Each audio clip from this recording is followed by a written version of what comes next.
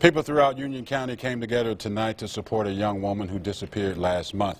WTVA's Alexis Jones was in New Albany where the woman's mother cried out for justice. I'm here at the park along the river where there wasn't a dry eye as residents and loved ones honored 28-year-old Jessica Stacks.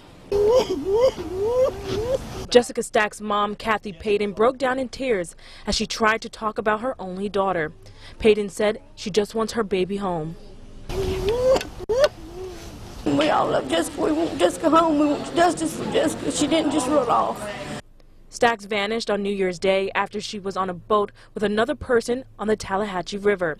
Deputies found footprints of her getting out of the boat.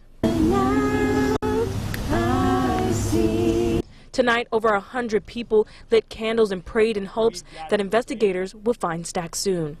This candle represents the spirit. means the world to me. It does.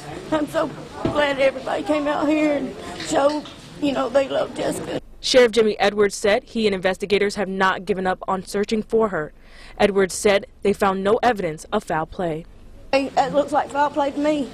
Residents also served food tonight to help raise money for Stack's family during this difficult time. In New Albany, Alexis Jones, WTVA 9 News.